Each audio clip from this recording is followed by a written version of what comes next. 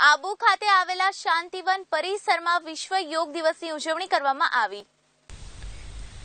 કાશ્મીરી નગરી આબુ માટે જાણીતું હિલ સ્ટેશન છે, જ્યાં લાખો કરોડો લોકો આબુ ફરવા માટે આવતા હોય છે. અહીં આવેલી બ્રહ્મકુમારીની પણ મુલાકાત લેતા હોય છે. ત્યારે આવતી એકવીસ જૂન વિશ્વ યોગ દિવસ હોય ત્યારે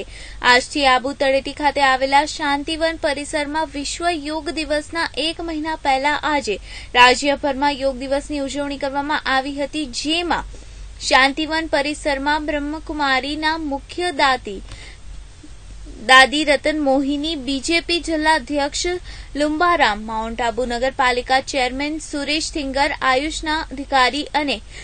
પતંજલિ સમિતિના પદાધિકારીઓની હાજરીમાં કાર્યક્રમને ખુલ્લો મૂકવામાં આવ્યો હતો. તેમજ આ કાર્યક્રમ આજથી એક મહિના સુધી સતત રાજસ્થાનના દરેક ગામો સુધી જઈને લોકોને માહિતગાર કરવામાં આવશે તેમજ જણાવ્યું હતું કે કાર્યક્રમમાં ઘણા લોકોએ ભાગ લીધો હતો અને યોગના ફાયદાઓ વચ્ચે ઉપસ્થિત લોકોને સમજાવવામાં આવ્યા હતા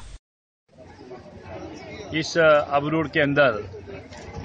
ब्रह्मा कुमारी द्वारा इस आयोजित योगा योग का कार्यक्रम के लिए जिस तरह का इन्होंने एक महीने से पहले आप इन्होंने जो शुभारंभ किया है और एक महीने ये कार्यक्रम चलेगा। इसके लिए मैं ब्रह्मा कुमारी जी की तरफ़ को भी बहुत बहुत बधाई देता हूँ शुभकामना देता हूँ कि आपने